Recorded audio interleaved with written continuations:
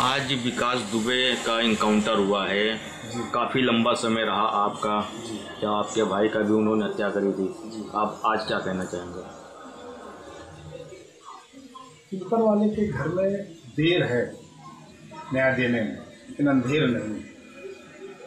और आज उसी आस्था का जो है परिणाम है कि 19 वर्ष बाद मेरे बड़े भाई स्वर्गीय संतोष शुक्ला का हत्यारा पुलिस के हाथों मारा गया। और इसमें मैं धन्यवाद देता हूँ उत्तर प्रदेश के मुख्यमंत्री माननीय योगी जी को। धन्यवाद देता हूँ उत्तर प्रदेश शासन और सरकार के उन लोगों का जो बड़ी तेज़ी से इसके पीछे लगे और उसके अपराधों का और अपराधी का दोनों का अंत किया। जिस प्रकार से कल उज्जैन में उसने समर्पण किया था नाटकीय ढंग से, क्या लगता था कि उसका इनकाउंटर हो पाएगा?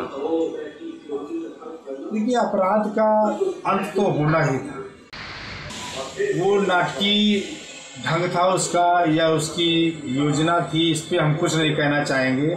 लेकिन मुझे उत्तर प्रदेश सरकार पे और उत्तर प्रदेश के तेज तर्राक अधिकारियों पे जो इस पूरे हत्याकांड की कमान जिनके हाथ में थी मुझे उन लोगों पर पूरा विश्वास।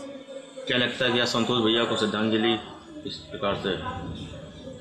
जो उस समय उत्तर प्रदेश में भारतीय जनता पार्टी की सरकार थी उस समय सरकार से जो या शासन से प्रशासन से जो चूक हुई थी आज वही भारतीय जनता पार्टी की सरकार और उसी सरकार के शासन और प्रशासन ने आज इस दुर्दांत अपराधी का अंत किया।